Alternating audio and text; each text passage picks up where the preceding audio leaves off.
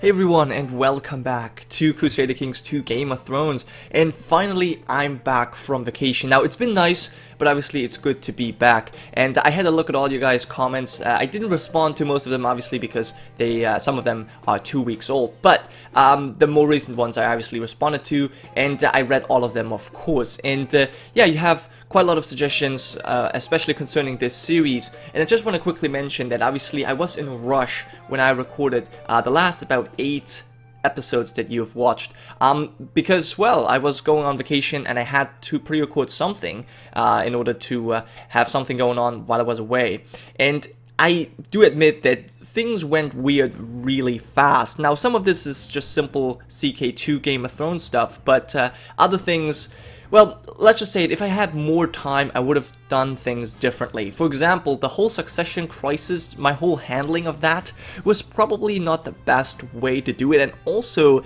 it wasn't the best way, uh, or it wasn't the way I personally, you know, as as a person would have done it, if that makes any sense. Obviously, I'm trying to, or I was trying to roleplay myself when I was playing as Lord Mark. Uh, now things are going to be a little bit different because I'm no longer playing my first character, but yeah, anyways, so what I would have done, I just want to quickly mention mention that, what I would have done if I had more time, I would have probably just um, added in the disinherit trait to my firstborn daughter Eleanor because for some reason it wasn't it wasn't working um, through the intrigue options. So I don't know what the reason behind this is. Doesn't matter to me. Uh, but I that's what I should have done. And then my daughter Charlotte would have inherited, and I would not have created all of these bastards.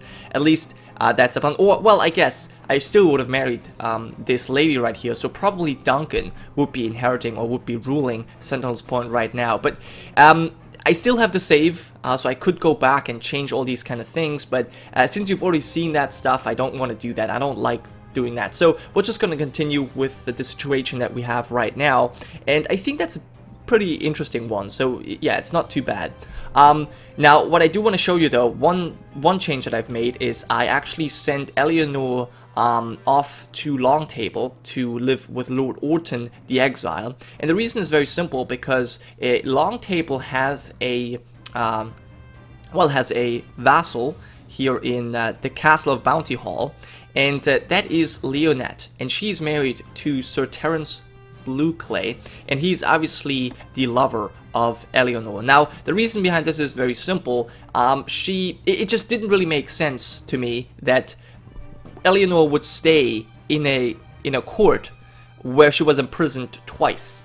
It just doesn't really make much sense. So I just moved them. And also, uh, you've probably seen that already, but I have actually uh, added the disinherited trait to it. Now, it doesn't really make it doesn't really change much since she has already inherited a little bit of money, but at the very least she's now banned from succession. So um, the next one in line is obviously my half-brother Duncan, and then we have Charlotte uh, as next, well, Sentinel to inherit. Um, but yeah, that's just what's happened. Now, one thing I should also make clear, someone in the comments has already figured that out, but I don't know if everyone knows about this. Um, Luke Sentinel uh, was slain by Dick Blacktyde because he um, he was the champion for Eleanor in her trial uh, by combat when she was imprisoned the second time. The first time, remember, I paid the ransom. She got imprisoned again, and then she sent uh, for for Luke to uh, get her out of prison, but he was slain. So this is how uh, House Blacktyde has screwed us over. And even though I could not uh, console command a true blood feud between our houses, I will definitely work towards to establishing one, um, and we'll do that by kidnapping Lord Auric or, or someone else. We'll see. Now, at the moment, obviously, there's not much I can personally do because I'm zero years old. So, um, yeah, th th there's that. But what I do kind of find interesting is that we're actually going to continue the tradition of being a legitimized bastard just like our father was. So that's kind of cool. I guess we could make that a family thing, but maybe there are better uh, or there, there are cooler things to do. Anyways, uh, that's all I wanted to mention. Uh, obviously, I also had a look at all your guys' characters' custom houses, and I made sure that um, that you have proper wives and that your lines continue. Now, most of your houses actually have an heir or even several heirs already. Some of them don't, but I definitely made sure to make them a bit younger. For example, let's have a quick look at Holders Goldheart. He was one of the oldest. Now, I made him, I think, 14 years younger, maybe. I don't know for sure. And I um, also made his wife much younger, uh, just so that there is still a chance of House Goldheart continuing. Now, he's already he already has gonorrhea and is a lunatic, but still, we'll see how long he can uh, hang on to life. Uh, he definitely does want to have a son, so we'll see. Um, but yeah, that's all the news from Sentinel's Point, and now there's one thing that I need to talk about, one big thing, because uh, we were so focused on the succession crisis in the last couple episodes, we completely missed that Hagen III of House Magna declared the war for Dawn against the White Walkers, and he's already winning by 88%. This is huge. I mean, I, I, I actually, I was thinking about cheating so that, uh, you know, at least the war would be declared, but it seems like we don't have to do that, and I'm very happy about this. So yeah, we're gonna continue, and maybe winter is gonna end uh, in this episode, so we'll see. Now, after this long intro, we're actually gonna go forward and see what's happening. I think we're still holding a feast. Also, there should be a couple of um, marriage proposals coming in, yes. Uh, we're just gonna accept them, as I said, I just made sure that you, uh, that your guys' characters actually have someone to marry. Um, okay, so there we go. And um, I accept your marriage, yes. The funeral, yes. Uh, the silence symbol, silences, okay. Um, this is always the same thing. Yeah. The body of Lord Mark is brought to the local sept and laid atop the altar at its center. Um, okay, yeah, we've, we've read that before. Um, what, what I do want to read though is this little box right here. Mark Sentinel died under suspicious circumstances. As someone pointed out in the comments, uh, it was most likely suicide. Uh, he died in Oldstones, um, a castle that he wanted to colonize, a castle that he was very interested in. And, um, well, he then... Um, committed suicide because he was so stressed. He was so stressed by uh, the succession crisis um, and uh, by well, the dishonor he brought to his house by fathering all of these bastards that he just, he ended his life prematurely. Anyways, um, he was a man with little likes or dislikes who just lived each day as it came. He was a competent swordsman, but not a warrior, uh, songs are written of. Uh, okay, so yeah, he was kind of an ordinary man, but uh, he was a good man. He was indeed. So, so it is done. That was the funeral. I think we can go a little bit faster. Um, now, obviously, I know uh, we are going quite slow today. Uh, yes, one more marriage proposal. We haven't really uh, spent much time. Yes, okay, thanks. All of these uh, marriages. Um, it's actually quite a lot. I didn't, I didn't think it was that many. Anyway, um, obviously, as I said, we're going forward slowly. I've talked quite a lot, but you know, those are those are the things that I need to do once once I'm back from vacation. Now, um, I've also been thinking um, to actually restrict myself with uh, spending money because I, I really want to colonize Oldstones, especially because that will limit these weird things that are happening with these with these ruins. So I, I think I just need to do it. I think I just need to wait until I have a thousand gold coins and you know not spend my money on anything. But I will probably forget about that halfway through the episode. Anyway, um, this is another marriage. Yes, we'll accept that. I, I think, at the very least, that was, yeah, that was correct. Okay, good. Um, and let's move on. Now, how is the War for Dawn going right now? Ah, uh, it should be, it should be over. Yeah, still 88%. I guess we'll, we're sieging down Castle Black now, is that it? How many men are there? 416. How many Northerners are there? Um, okay, the Valeman War for Princess Ermesanda's claim on the Iron Throne as attacker. Oh, Lord Paramount Peter has declared war. Okay, we'll have a look at that very soon. For now, though, I... Oh, we are apparently not supporting the Iron Throne? Yep. Okay, Ambrose Tully is not supporting the Iron Throne. Um, so what's going on? We have uh, Peter Arryn of the Vale, Princess Ariana of Dorne, Karhold the Neck, the Sisters, Blackwater Rush, the High Septon, and the Reach. Um, fighting Sinel? Why? Uh, Princess Ermesanda's claim. Okay, that is Princess Ermesanda right there. She is married to the Lord Paramount of North. Well, not the worst choice. I mean, after all, he's the only one uh, who finally decided to take up arms against the White Walkers, so he has my respect. Indeed, he would make for a good king. Um, I don't know much about Ermesanda, obviously, but I I come to like Hagen, uh, and I hope that he can end winter soon. Now, someone was also asking whether or not uh, I would take over the brothel now. Uh, that would be very funny to have a zero or one year old uh, take over a brothel. Um, but it does not seem to be the case. Yeah, we're making much less money. But as soon as winter ends, things should be a little bit better than that. Uh, how how's it looking? We're at 94%. That's very close. So the uh, the uh, Shadow Tower has been retaken. The both of the gifts have been retaken, and now Castle Black is the only thing that needs to be taken over.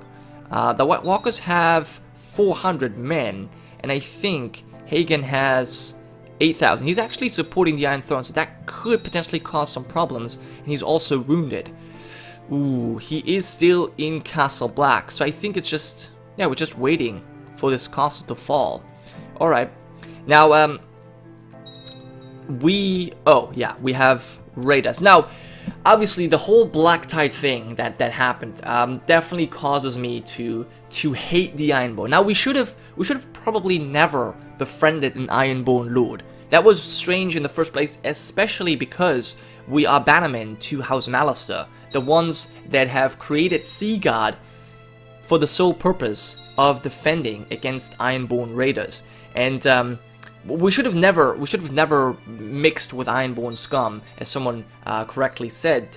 But we have learned that lesson now, and we will never do that again. At least uh, I hope so. And what's this? Okay, that's not enough men to fight these guys. That's not enough.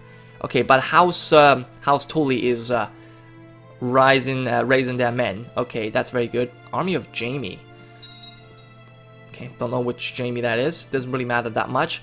Uh, but obviously the Iron Throne, uh, or, or, the, um, I guess, the borders within the Iron Throne and the several kingdoms are a mess. It just looks hideous. So how's this going? How's this war going? You're probably losing.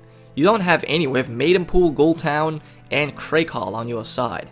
Yeah, you're already losing by 31%. That was to be expected. Rumor has it that your courtier Della has been influenced by her guardian's splendor. It is said that Della is now considered properly Riverman. Very good. Very good indeed. Um, I hope it's a beneficial influence. Well, there you go. Now, uh, we are personally actually a Valeman, which is a bad thing. Well, not technically. Um, but obviously, I would much, much prefer it if we were a Riverman. But luckily, we can change our culture later on, so that's good. We'll do that. Actually, uh, I wonder which of these choices is going to be better. Um, this seems to be easier. Um, we just become... Okay, there's no repercussions to that, it seems like. Very good. Uh, what's this? Uh, we have improved relations with uh, our liege. Harry's Mallister. Now, I definitely hope that he has a son at some point. That'd be that'd be great, because otherwise Silver the Exile will inherit, and that that would suck. That would just suck. Um, okay, we can imprison Marina Laurels, going against the will of the council. What? Just end your plot then. There you go. You want to kill Aglatine Justice. No, we're not going to do that. And Geo Worth, you need to be, you need to stop your plot as well. Right um, replace Sir Albert Locksley as treasurer. Yeah, don't want to do that. Stop it. Now, actually, Geoworth obviously killed Sir Kenrick, Kenrick Valkyrie in personal combat, and now Ben Valkyrie, um, who I married to a much younger lover this time, um, he has inherited quite a fortune, which I think is is amazing. Um, and I think I've, yeah, okay, never mind. Um, this is cool. I think this is really cool that he has so much money. He has just almost as much money as we have. And that's just from tournaments. Um, so if we become a better fighter, we might be able to, well, make a lot more money just, just by attending these tournaments.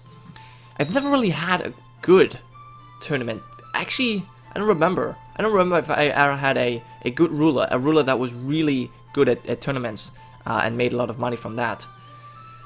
Anyway, um, Let's have a quick look at this. This seems to be 29. Okay, so they are fight. The Iron Throne is definitely fighting back. They have 9,000 men. I just hope. Oh, what's going on with the North? The North is. Oh, okay. So the North has won. Winter is gone. The Night's Watch has been reestablished. Thanks for the uh, update there. Uh, great. I guess I must have missed it, but that's that's nice. So winter has ended technically. We'll see. I, I think if winter has not come to an end by the end of this episode, then I will probably uh, try and console command it. We'll see if that's possible. Anyways, so Dirk, you are the command of the Shadow Tower, Brandon's Gift, and the new gift, and the Night's Watch. That's amazing. That's amazing indeed. So who is ruling Castle Black? We have Harmon Penhollow. He was a peasant, a Stone Dornish peasant. Then we have Walder Barrows, a Northman. Very cool, I like that. I like that quite a bit. Okay, wow, and he's a Kinslayer now. Okay. Well, whatever it takes, I guess, in order to, uh... Who did he kill, though? I wonder who he killed. The Barrowlands. Helic Magna. Oh, wow, formidable fighter. And he is, uh, Lord of Hornwood and the Barrowlands. Hmm, House Magna has definitely risen, or definitely, well, used their their power of the north to rise in strength. Um, so that's that's for sure. And we have tons of wildlings over here.